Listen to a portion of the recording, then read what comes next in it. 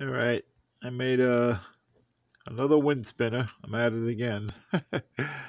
uh, but this time I made a, a weather vane, which is pretty cool. It, you know, and it, it that thing spins like 99% of the time because see the way it moves around?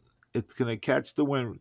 That is west. That is due west where it is right now. I know that for a fact, and it's pretty accurate.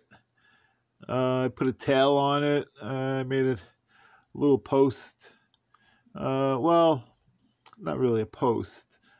Uh, it's like one by one by twos and one by ones. And I tried to make it look like when they had the weather vanes on those. Um, I don't even know what they called. You know, on those. Uh, structures that they they have, and this is kind of mini. It, it, from a distance here, you really can't see it. It the wood is up tight up at the top where the weather vane is, and then it spreads out on the bottom. And for weight, I had an old air conditioner compressor. I put it in the center. I painted it red. You can't even see it. It gives a good weight. And then I uh, I bolted. I screwed a, a wood plate to the bottom, make it flat. This way it doesn't topple over. And I put it on a, a bed of gravel.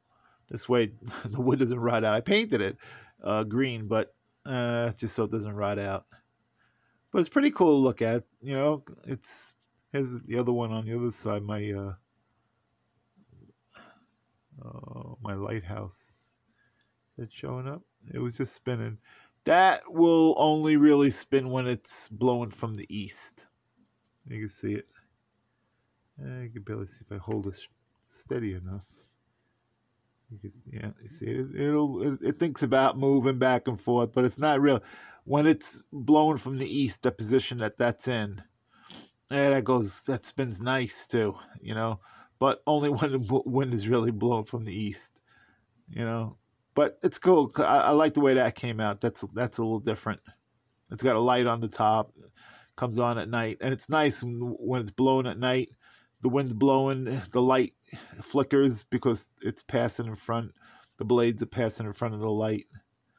Yeah, but I do like this. What do you call the weather vane? Yep, that came out nice, nicer than I thought. That's pretty cool.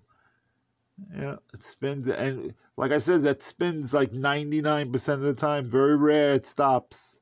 Yeah, of course now it stops. Right. I'm talking about, but it'll start right up. It, it it'll always blow because there's always a breeze here up in the mountains. Eh, makes it a little bit more interesting. All right, just wanted to make a quick video. Thanks for watching.